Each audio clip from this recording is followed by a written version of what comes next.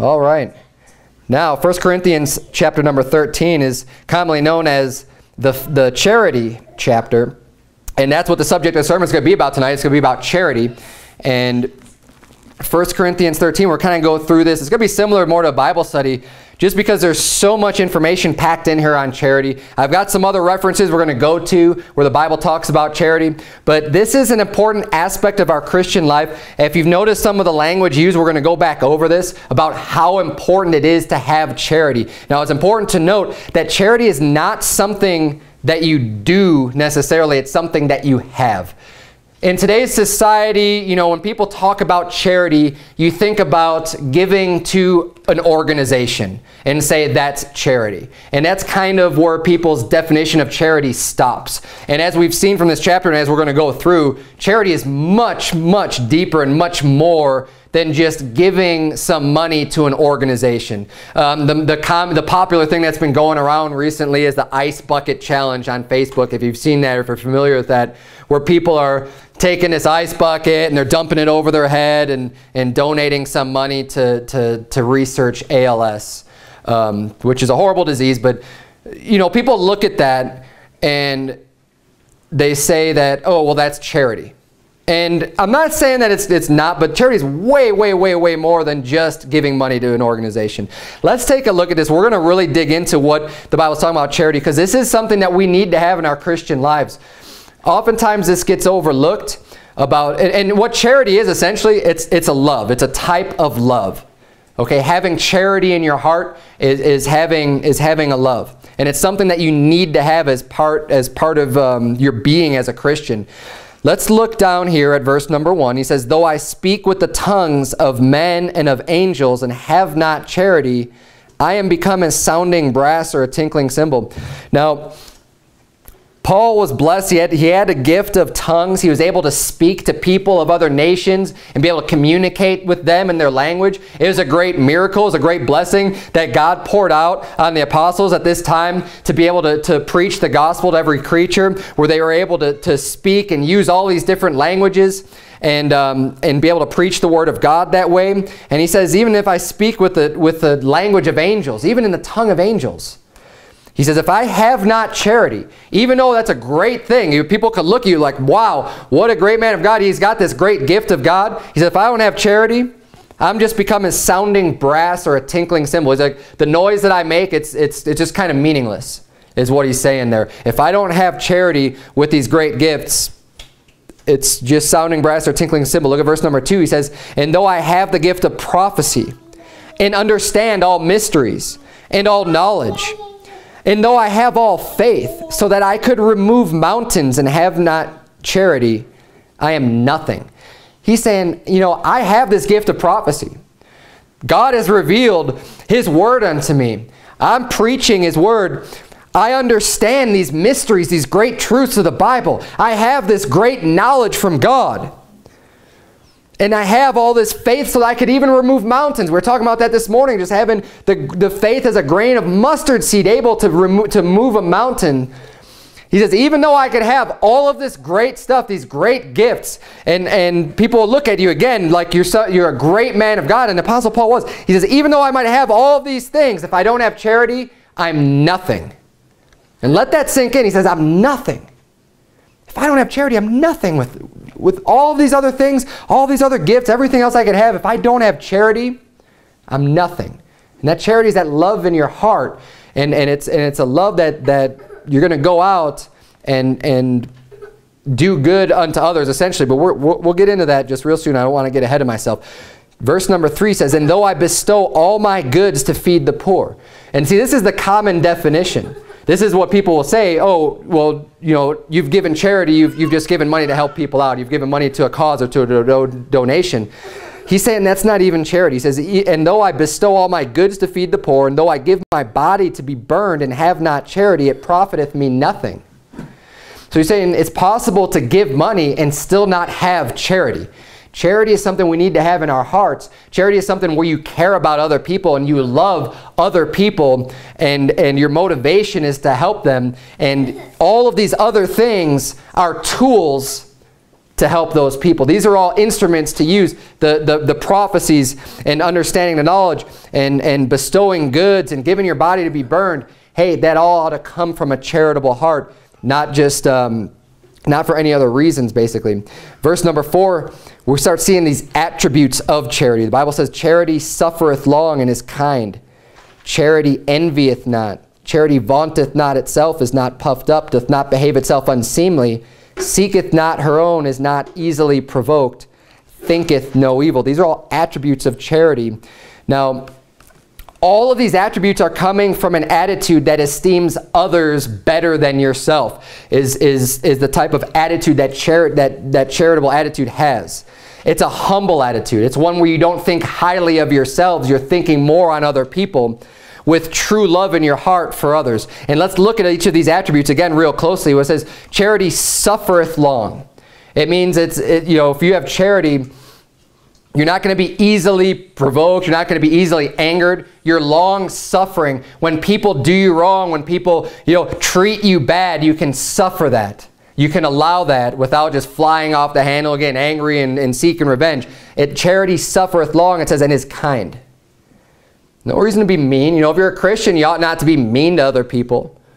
If you have charity in your hearts, we ought to be kind. And what happens oftentimes is that um, people have a tendency to, to, to really study the Bible and learn and, and just feel like, man, I have all this knowledge. The Bible says that knowledge puffeth up, puffeth up, but charity edifieth. People have a tendency to get, to get really mean because they think that they, they know so much of the Bible and that everyone else they talk to is just an idiot and oh, you don't know this and you don't know that. And they don't have the kindness in their heart. The Bible says that charity is kind. And we, we need to know how to, how to deal with people. And look, maybe, some, maybe people you talk to don't have as much knowledge as you, but don't let that wisdom puff up your mind into thinking that somehow you're better than them because you have this knowledge, because you're not. We're not better than anyone else. What you ought to be doing is using that knowledge with charity in your heart. Because, I mean, Paul says, look, I have all knowledge, all mystery. I have the gift of prophecy, but profits me nothing if I don't have charity. It's no good. It's useless. All the knowledge that you have, if you don't have that charity in your heart to go out and to reach people, it's going to profit nothing. Verse 4 right in the middle there, it says, charity envieth not. So you're not concerned about what other people have and, and either greedy or just looking on other people and just wishing you had something that they have that you don't already have. Charity doesn't, and the charity doesn't have that type of an attitude. You're not looking at what other people have. You're, you're, you're not looking at it and wanting it for yourself. You're looking at how can you help them do better. Charity vaunteth not itself, is not puffed up. Again, it's, it's not proud. It's not having a proud attitude, being lifted up, lifting up yourself above everybody else. Verse 5, doth not behave itself unseemly. Um, obviously, living accordingly and, and if you have charity in your heart, you're not going to be doing things that are unseemly, living in lots of sin. It says, seeketh not her own. So again, the same type of an attitude. It's, the, it's attitude where you're not looking after yourself. You're looking at the, the things of other people. You're not seeking things for yourself. Is not easily provoked and thinketh no evil. All these things, these, these are the attributes of charity that the Bible is describing here that we need to try to make sure that we can incorporate into our life. Now, there's a lot of attributes here, but they all, again, they stem to that main attitude of, of putting others and esteeming others better than yourself, keeping a humil humble mind and, and one that wants to serve and wants to help other people. Let's keep reading here. Verse number 6 says, Rejoiceth not in iniquity. So there's no pleasure in sin. And again, a lot of Christians these days have a tendency to, to, to rejoice in iniquity, and, and they don't even necessarily think about it. When you're thinking about, you know, what, how do you get your entertainment? Does your entertainment come from sitting in front of a, of a television screen and there's people on the screen committing all kinds of iniquity and blaspheming God and you know you have fornication you've got adultery. Are you rejoicing in that iniquity? Do you use that that as your entertainment and that's what you want to do with your time is put a bunch of sin in front of your eyes and from the, from the television screen? That's not having a charitable heart he says rejoiceth not in iniquity Shouldn't be happy and, and take pleasure in the sins of others. It says, but rejoiceth in the truth. If You're interested in hearing the truth. I want to know the truth from God's word. This is what makes us happy. This is where our where we get our spend our time with, and this is what we're going to get um, our truth from. Rejoicing in the truth. Verse 7 says, beareth all things, believeth all things, hopeth all things, and endureth all things. It's very, excuse me, um, attitude trusting in the Bible, believing everything in the Bible, and enduring through whatever might come your way. The Bible says in verse 8, Charity never faileth, but whether there be prophecies, they shall fail. Whether there be tongues, they shall cease. Whether there be knowledge, it shall vanish away. All those other things that, that we had just read about earlier in the beginning of this chapter, he says those things can come and go, but charity never fails. That love, that, that, that, that love of your heart should never fail, never goes away. It says, For we know in part, we prophesy in part, but when that which is perfect is come, then that which is in part shall be done away. And on and on. Now, um, and the Bible says at the end there, verse 13, And now abideth faith, hope, charity, these three, but the greatest of these is charity. We can see from what we've read here how important being having charity is. It says, out of faith, hope, and charity, charity is the greatest.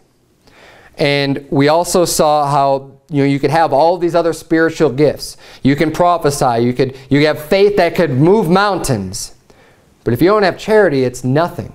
This is critical in our Christian lives. It's something we need to, to make sure that we have in our being. We have in our heart that, that we're not just too focused with ourselves and we're not just too focused on, on even just attaining these things. We've got to make sure we have this, this charitable heart that will lead us um, in, in dealing with things properly. Turn, if you would, we're in 1 Corinthians 13. Just flip back to chapter number 8. And I had already quoted this earlier, but this is where it, where it comes from. 1 Corinthians chapter 8, verse number 1. It says, Now as touching things offered unto idols, we know that we all have knowledge. Knowledge puffeth up, but charity edifieth. See, what he's talking about with things offered unto idols, he had mentioned that, you know, we know that it's just food, you know, the stuff that's offered unto idols. Now, you shouldn't do it because it's a sin, but he says, we know that's food. We have knowledge. We know that that idol's not a real God. We know it's just, it's just, you know, wood and metal and whatever. It's, it's just the creation of man's hands. It has no real power. And he says that knowledge can puff you up, but charity edifieth. And what does it mean to edify someone? When you think of an edifice or edifying is, is basically it's you're building it up. If a building has an edifice, it's, it's, it's built up. When you, when you edify someone, you're building them up. And charity is all about helping others and strengthening them and building them up. That's the charity that we ought to have See, you could be puffed up with knowledge, but it's going to be useless unless you have that charity to help other people out. What good is a knowledge? And I like to use this oftentimes. You know, we go out and we preach the gospel, and we knock on people's doors, and we try to witness about Jesus Christ and his love for them. It's one thing, you know, for you, Christian, to be saved and to sit at home and you can have your knowledge and you could be saved and you could know, hey, Jesus Christ died for my sins and I'm going to heaven when I die. Hey, that's great, but what good is that knowledge of salvation going to do for anybody else if you don't go out and share that same message with others? They're still going to die and go to hell if you just decide to sit at home and not do anything about it. That's why we need to have this charity that's going to go out and preach the gospel, to love people enough to bring the word of God to them and say, look, Jesus Christ died for your sins. You don't have to go to hell. That is going to build them up. That is going to help them. And if we're going to have charity in our lives, we need to make sure that we're focusing on the loss of this world and that we're, that we're going to go out and do the work that's set before us instead of just sitting at home, just reading our Bible and having our own knowledge and not doing anything with it. We're in 1 Corinthians 8. Just flip back over to, um, to, to chapter 16. We're not looking at quite all of the references of charity, but we're looking at quite a few of them. 1 Corinthians 16, the Bible says in verse 13, Watch ye Stand fast in the faith. Quit you like men. Be strong. Let all your things be done with charity. Again, just showing the importance. Everything that we do needs to be done with charity focused on other people. That's exactly what Jesus Christ's attitude was when he came here. He came here with an attitude to serve. He came to minister, not to be ministered unto, but to help others, to seek and save those that are lost. That was his mission. That was his job here, was to go out and do things for everybody else. He even got to the point where he got on his hands and his knees and he, he washed his disciples' feet. He ministered unto them. He was always ministering unto other people. He came, he had a lot of work to do. He had a hard job. But he did it. And he did it out of a loving heart, out of a charitable heart. Let's turn to um, Colossians chapter 3. Just a little bit um, far uh, to the right in your Bible. We're in 1 Corinthians, we got 2 Corinthians, Galatians, Ephesians, Philippians, and then Colossians. Colossians chapter number 3. And we're going to read in verse number 12. The Bible says, Put on therefore as the elect of God, holy and beloved, bowels of mercies, kindness, humbleness of mind, meekness, long-suffering. Get this, because this is these are all attributes of, of having a charitable heart. Kindness, humbleness of mind, meekness, long-suffering, forbearing one another, and forgiving one another, if any man have a quarrel against any. Even as Christ forgave you, so also do ye. And above all these things, put on charity, which is the bond of perfectness. You want to grow to the next level in your Christian life? Hey, the, it says the bond of perfectness, completeness, is having that charity. Above all of these things, have charity. Now again, these are all attributes of having a charitable heart, being merciful and kind and forgiving one another. When someone does you wrong, not holding that against them, but having the love to look past that the same way that Christ has looked past your sins when you received him as your Savior. 1 Timothy chapter 1. Please turn there if you would. It's going to be a shorter sermon tonight, but we'll look at 1 Timothy chapter 1. It's important. There's, the, the Bible can, you know, we, we see over and over again in these chapters with charity, in these scriptures with charity, the importance of it.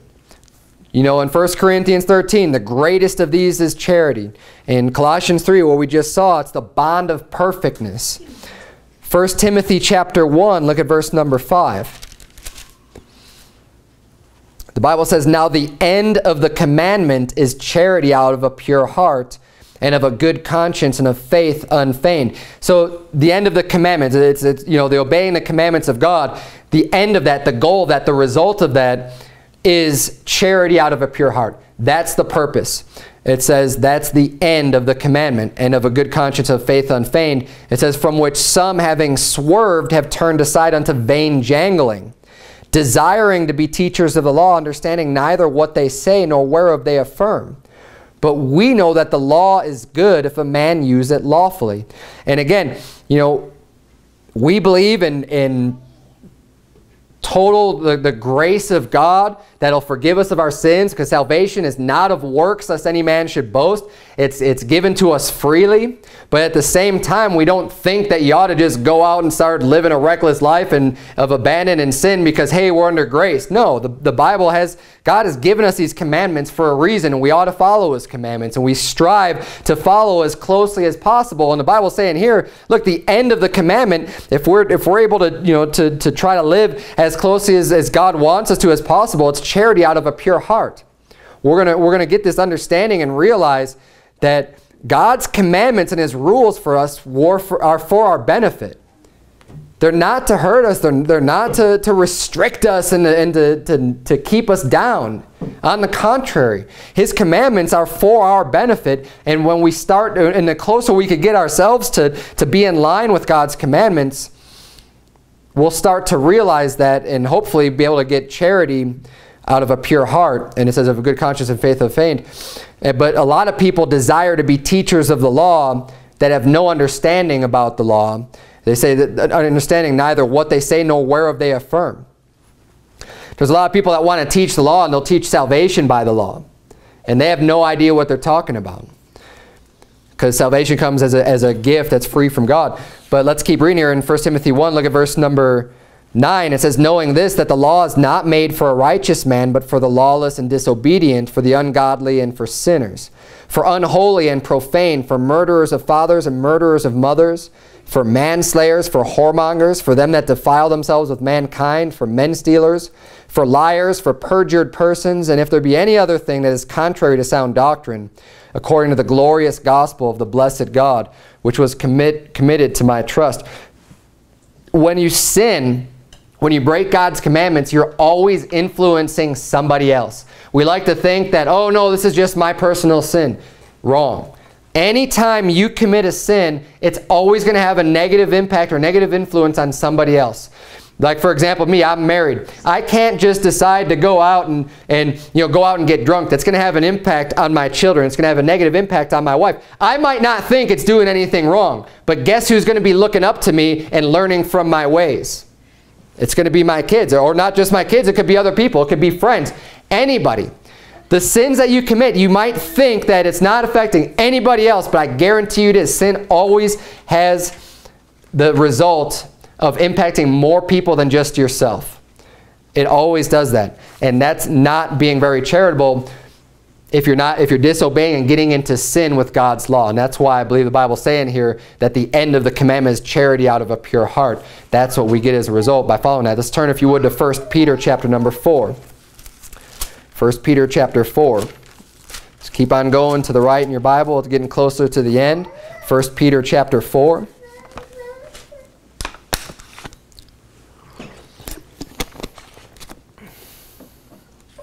Look at verse number 7 of 1 Peter 4. The Bible reads, But the end of all things is at hand. Be ye therefore sober and watch unto prayer. And above all things, have fervent charity among yourselves, for charity shall cover the multitude of sins. Use hospitality one to another without grudging, as every man hath received the gift, even so minister the same one to another, as good stewards of the manifold grace of God. If any man speak, let him speak as the oracles of God. If any man minister, let him do it as of the ability which God giveth that God in all things may be glorified through Jesus Christ, to whom be praise and dominion forever and ever.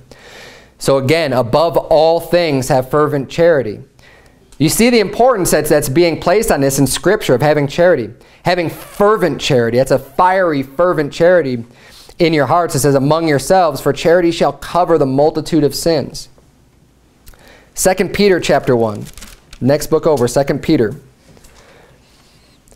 Look at verse number 5. 2 Peter 1 says, And beside this, giving all diligence, add to your faith virtue.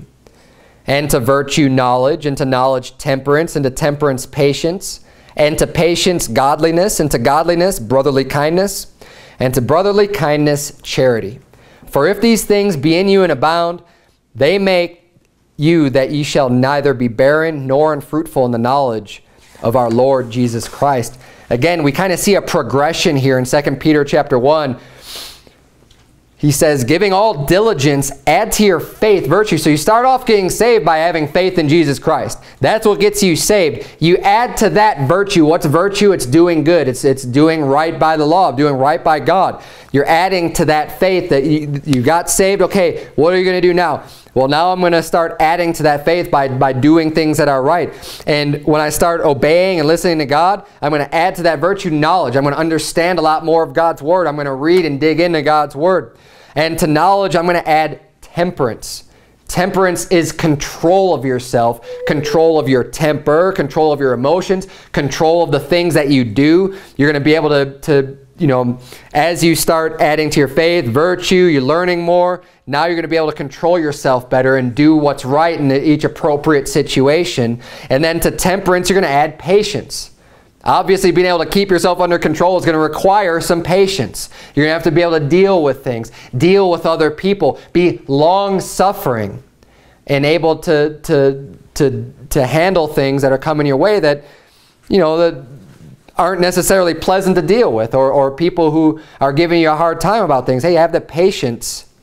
And then to patience, you add godliness. right? Godliness is again just just getting more holy, getting more sanctified by by obeying God and and, and living righteously through His Word. We're going to add to all of that godliness, and then it says to godliness brotherly kindness. Where okay, up to this point you've kind of gotten yourself situated, so to speak. You, you're, you, you've worked on a lot of things in your own life. You've worked on your own knowledge and your own temperance and your own patience and your own godliness. Well, add to that brotherly kindness now where you're going out and helping other people out. You've gotten yourself to a point, at least to, you know, where, where you're starting to get on the right track. Hey, we need, to, we need to look out for other people and add brotherly kindness. And then finally add to brotherly kindness charity. That's the end. That's the last step is adding that to charity. Now, this is something I believe we should con continually be working on throughout our lives is adding all of these things, all of these good attributes in our Christian life. But notice that the last thing of, of perfection there is charity. Having that charitable heart where you're just, you get completely focused on helping other people out. And, and the Bible promises us here in verse 8, for if these things be in you, if you have these attributes, if you work on these, if you get these in your life, if these are in you and abound, they make you that ye shall neither be barren nor unfruitful in the knowledge of our Lord Jesus Christ. He says you will be fruitful. You will bring forth. You will be seeing people get saved. You will be having the power of God in your life. If you have all of these things in your life, God's going to use you and you will not be unfruitful. Let's flip back, if you would, to Romans 14. This will be the last, the last scripture that we turn to tonight, Romans 14. I'm going to spend quite a bit of time in here.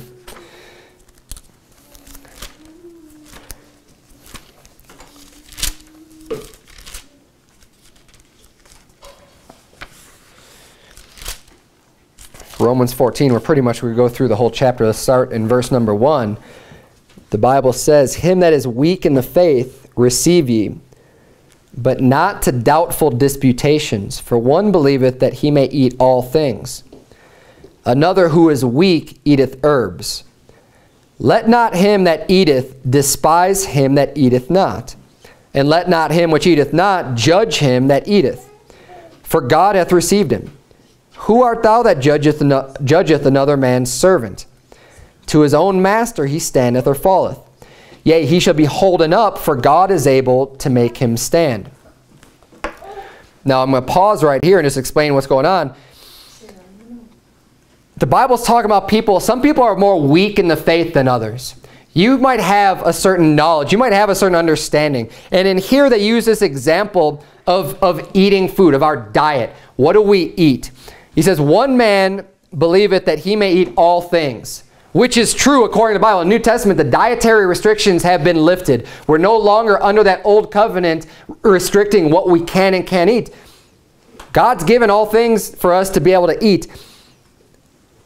But then it says, another who is weak eateth herbs. So now you've got someone else who believes, well, no, we should only be eating vegetables, You're a vegetarian. Okay? Now, according to the Bible, according to scripture right here, he said, one believeth that, that he may eat all things, and another who is weak eateth herbs. So he's, he's explaining that the weak Christian, the one who doesn't have as much knowledge, is the one who thinks that they only should eat the, the vegetables, the vegetarian. There's nothing wrong with that. Okay, if someone wants to be a vegetarian, fine. And if they think that, you know, well, we shouldn't be eating these things from the Bible, fine. Okay, he says, he that is weak in the faith, receive ye but not to doubtful disputations. He's saying receive that person. That's fine. It's not a big deal. If that's what they think, no big deal. You have the truth. You understand. You, you know that you can eat all things, but you don't need to make a big issue out of it, make a big stink out of it, and just have to prove them wrong. It says, let not him that eateth despise him that eateth not. So the person who knows, hey man, I could eat any of these things, you shouldn't look at that other person as a vegetarian and despise that person in your heart. And on the, on the other way too, he says, and let not him which eateth not judge him that eateth, because he'd be judging unrighteously. He'd be looking at that person saying, oh, well, I can't believe you're eating pork or, or eating shrimp or something like that. Look, we can eat all things. You don't need to be judging what I'm eating, and, and we ought not to be despising those who think that we shouldn't be eating that stuff. It's fine. Just, just You know, it's not a big deal. That's what it says in verse 4. Who art thou that judgest another man's servant? To his own master he standeth or falleth. He's saying, let God deal with it. Yea, he shall be holding up, for God is able to make him stand. And then we continue on here, and it's talking about days now instead of diet. One man esteemeth one day above another, another esteemeth every day alike. Let every man be fully persuaded in his own mind.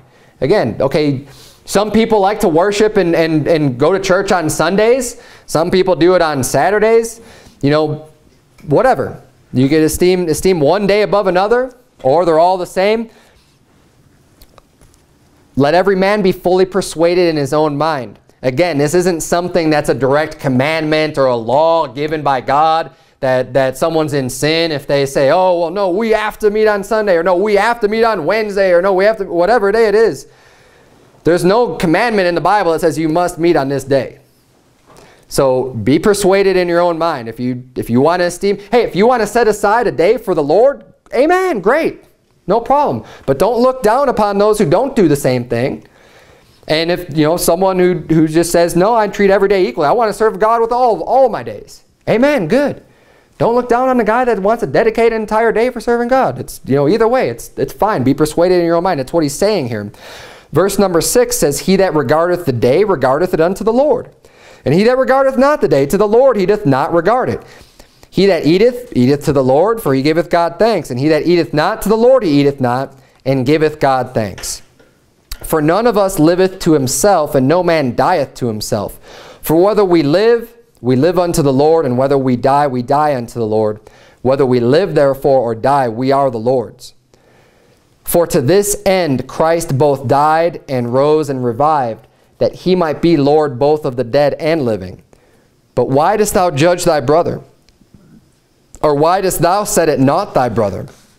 For we shall all stand before the judgment seat of Christ. For it is written, As I live, saith the Lord, every knee shall bow to me, and every tongue shall confess to God. So then every one of us shall give account of himself to God. And this actually kind of falls into with the gossiping busybody sermon that I, that I preached on last week you know, we're all going to be accountable unto God. These little issues about esteeming one day better than another or what diet a person eats, look, we're going to stand before God for our own stuff. Mind your own business, essentially, is what he's saying.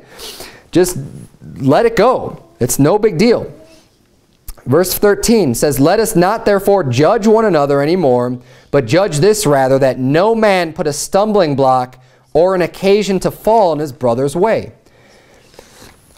And this is what I really want to focus on in this chapter. We had to go through the rest of this to get the context of what he's talking about. You know, it's eating and, and, and days one over another. He's basically kind of saying it's not that big of a deal. But here's where we're going to see the charity out of all of this. Here's where we're going to see where a person can have knowledge. And you could understand that something, you know, it's not a big deal, but even, you know, this person that's a vegetarian, man, he's like, man, he keeps saying we can't eat this stuff.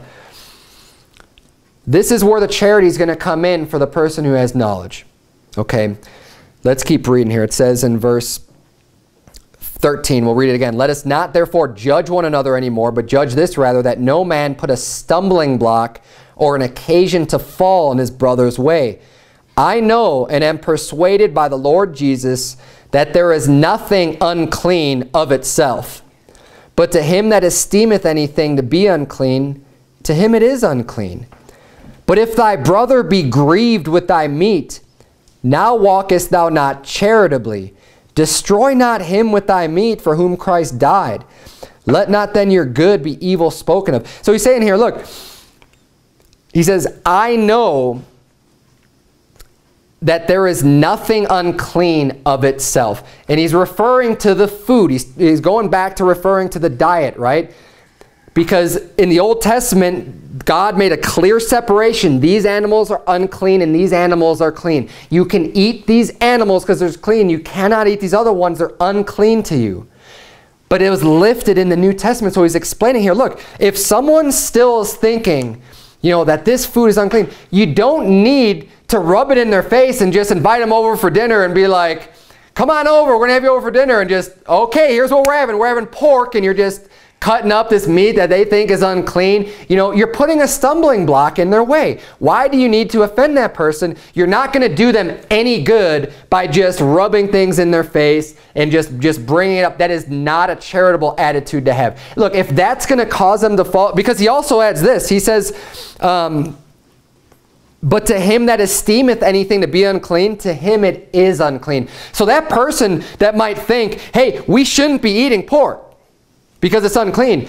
Because they have that belief in their, in their heart, if they were to then go ahead and do it, if they were to go ahead and eat, eat pork, to them it is sin.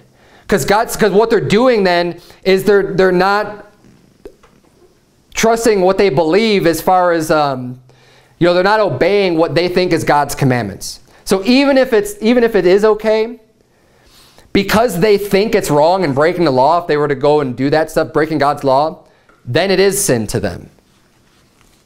And and by making them sin, you're you're not being charitable at all. You're having you're having a more of an evil heart against your brother in Christ than having a loving, good attitude towards your brother in Christ. And and that's how we all live. Look, just because you know something is true and something is fine, and, but if you know someone else has a, has a different opinion about that, and we're not talking about, you know, adultery and someone just saying, well, I think it's just fine. Look, no, it's not.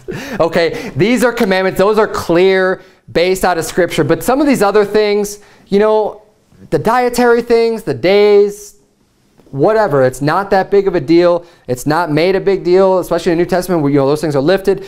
But if someone wants to still obey that stuff and hear those things, okay, whatever. But we don't need to be using our knowledge of puffing ourselves up instead of being charitable towards that person and just let it go. You know, we want to invite that person over for dinner. You know what? We're going to have salad. We're going to have this food, you know, and, and cater to them and not offend them because there's no reason for it at all. You're only going you're not going to be edifying them in what in any way whatsoever. And you know, ultimately, hopefully they'll just be able to learn and grow stronger in the Lord. But look, everybody is at a different stage in their Christian growth. Nobody starts off overnight, you get saved, and all of a sudden you just know everything about the Bible. I know I've had different beliefs that, I, that have changed over time as I've learned and, and known more about God's Word. Say, oh, I was wrong about that. Now I see this is what's true. Everybody goes through that. So there's no reason to be either holding that over their head or really just kind of rubbing their face it. If they believe a certain way over uh, an issue like this, fine. Just let it be. That is what having a charitable attitude is, is, is like. The Bible says, um, let's just keep reading. We'll finish up this story. We're almost done. Let not your good be evil spoken of. Verse 17, for the kingdom of God is not meat and drink, but righteousness and peace and joy in the Holy Ghost. For he that in these things serveth Christ is acceptable to God and approved of men. Let us therefore follow after the things which make for peace and things wherewith one may edify another. For meat destroy not the work of God. All things indeed are pure, but it is evil for that man who eateth with offense. It is good neither to eat flesh, nor to drink wine, nor anything whereby thy brother stumbleth, or is offended, or is made weak. So even though we have that knowledge, look, if, if, if eating this or drinking that is going to cause your brother to stumble, or if it's going to make them offended, or if it's going to make them weak, he says, don't do it. Okay? Keep that person in mind. Think, think about that person. Love that person enough to, to just not, not be a stumbling block to them. Another word for charity is love. I think I mentioned at the beginning of the sermon. And there's multiple ways a person can love. There's lots of different ways. You know, there's a love between a husband and a wife, a love between a father and a son, a love between friends. You know, there's different ways. And charity is just is, is a specific type of love that we can have in our hearts. And I believe it's it could be wrapped up in this. You don't have to turn there, but in John 15, 12, Jesus Christ said, This is my commandment, that ye love one another as I have loved you. Jesus gave us the best example of being charitable, of having charity in his heart, of really caring about the needs of others, and, and really just, just focused on what is going to do the best for them. He says that you love one another as I have loved you. Greater love hath no man than this, that a man lay down his life for his friends.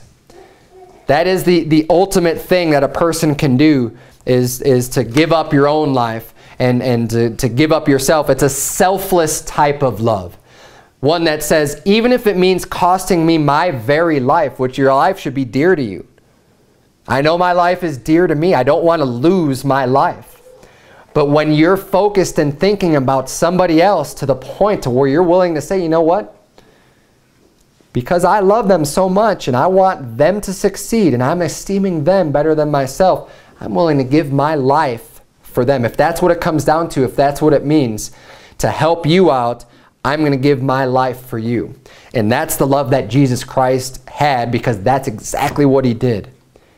He gave his life as the, as the sacrifice, as the atonement for our sins. We didn't deserve that. And you know what? There's going to be people in your life, they don't deserve, so to speak, they don't deserve your love. Maybe they treat you poorly.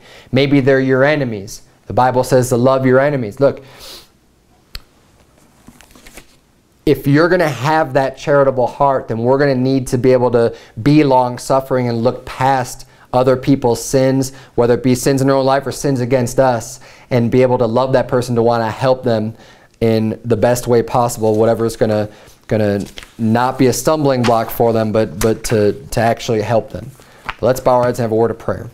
Dear Heavenly Father, Lord, we thank you so much for your word. We thank you for this great um, 1 Corinthians chapter 13 on charity, dear Lord. I pray that you would please just help us to understand this, understand the importance of it and how much you've emphasized in your word how important it is for us as Christians to have charity. Lord, I pray that you would please just, just move us to, to grow in charity and, and in love of other people, dear Lord, to, to preach the gospel to them, to understand that if, that if we don't give people the gospel, maybe, that, maybe they won't have an opportunity to even hear it. Lord, help us to have that burden on our heart to be focused on other people and to, um, to be able to, out of love, preach your word. And it's in Jesus Christ's name we pray. Amen. Amen.